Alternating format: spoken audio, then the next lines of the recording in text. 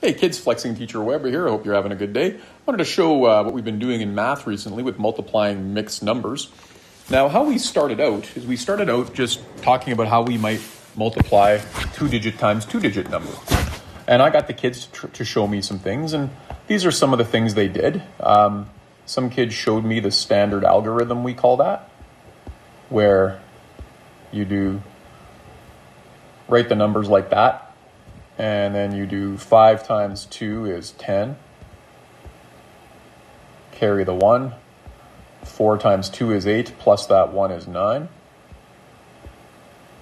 And then you're going to multiply through by this, this 2, but it's actually 20. So we'll write a 0 down there. And 20 times 5, or 2 times 5 is 10. So we'll write down 0, carry the 1, and 2 times 4 is 8, plus 1 is 9. We add those up, and we get 990. So many kids showed that. Nothing wrong with that. Excellent strategy. Um, my personal opinion, kids often struggle with it, but good strategy. Um, some kids showed me this.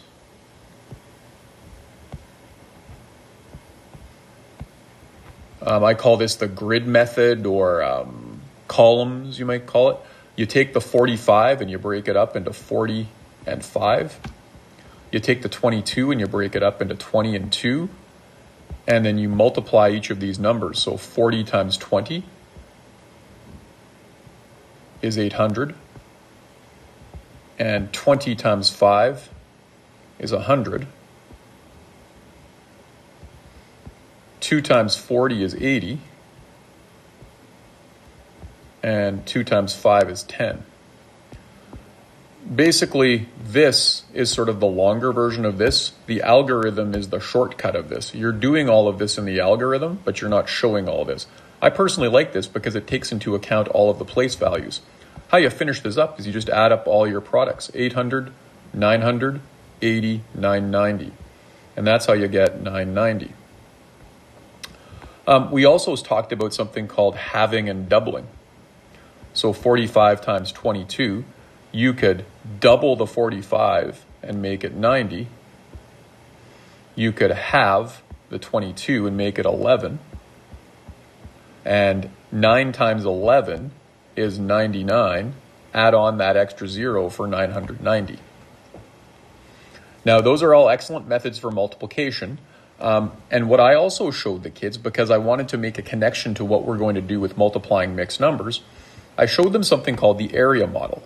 So we talked about how to calculate the area of a rectangle, you can do length times width. You do a multiplication. So what we did is we drew a rectangle, and we would say on this one, the long side of the rectangle is 45, and the short side of the rectangle was 22. So this is the multiplication question that we were working on. But what we do is we break this rectangle into parts. We say, you know what? We're going to go this distance, we're going to estimate a bit and say this distance right here is 40. At that point, I'm going to say this distance right here is 5. And I'm going to draw a rectangle down. And then on the other, the shorter side, I'm going to say from here to here, that distance uh, is 20. I'm Just going to switch some things up here. The whole distance is 22. From there to there, I'll say that's 20. And then I'll say this distance here is 2 for 22.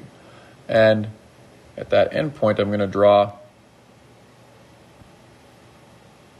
all the way across. So what I've got now is I've got four rectangles that I can calculate the area of.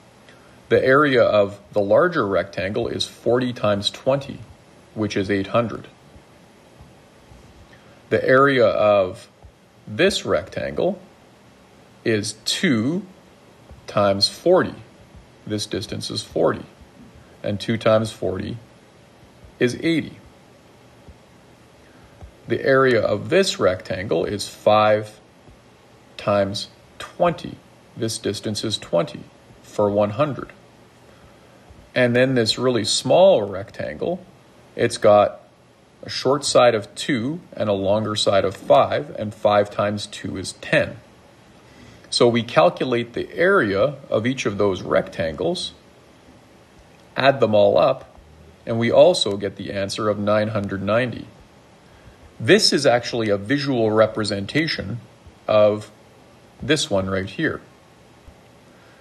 Using this area model can help us multiply mixed numbers.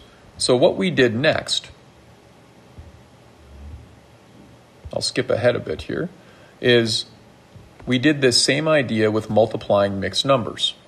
What we did was four and a half times two and a third. And what we said is that the long side of this rectangle, so this distance the long side right here would be four and a half. So I'm going to make that side four and a half. And the short side would be two and a third. But I'm not going to leave them like that. I'm going to break them into smaller parts. I'm going to estimate a distance. I'm going to go all the way across and say that distance is about four. And when I get to there, I'll draw another rectangle down and I'll say this shorter distance is a half. And then on the other side, I'll go down to here and I'll say that distance is 2. And when I hit that point, I'll draw a rectangle across. And then I'll say this remaining distance is the one third.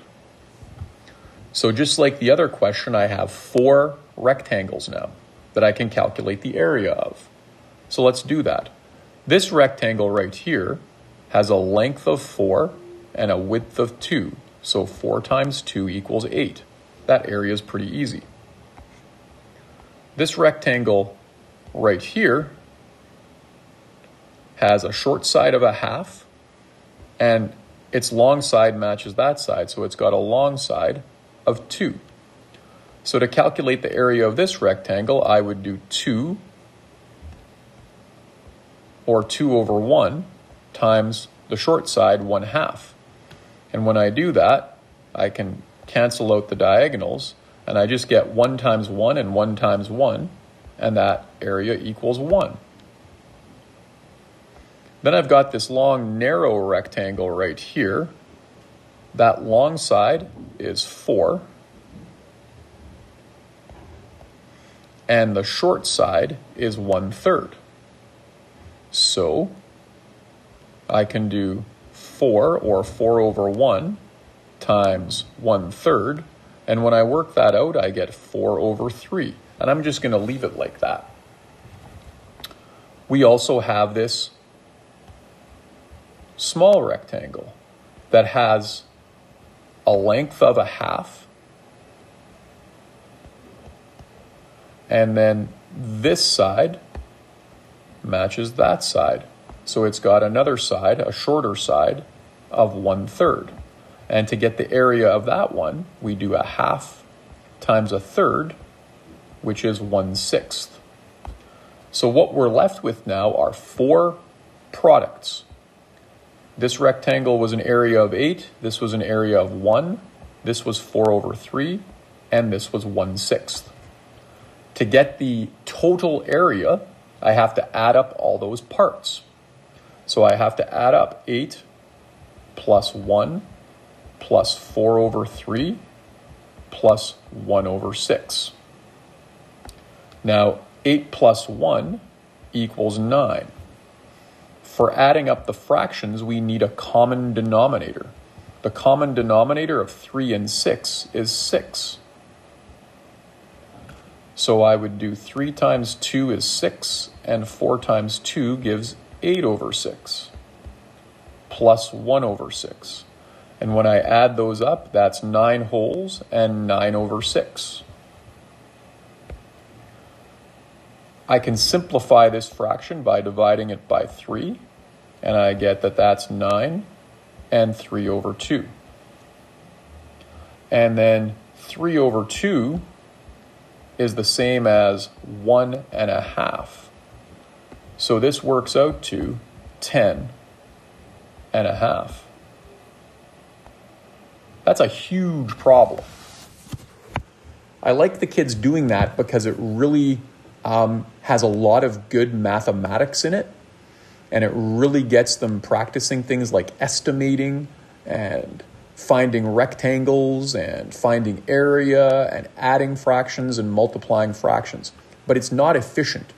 I do expect them to be able to do a question or two like this, but in my next video, we'll look at a more efficient way to multiply mixed numbers. But what this shows you, it shows you what's happening when you're multiplying mixed numbers. You're actually multiplying four different parts of the mixed numbers, right? Um, to get four rectangles or four different products. Um, in the next video, we'll look at a more efficient way to do this. Uh, I hope that helps with the area model, though. That's all for now. Flexing Teacher Weber, out.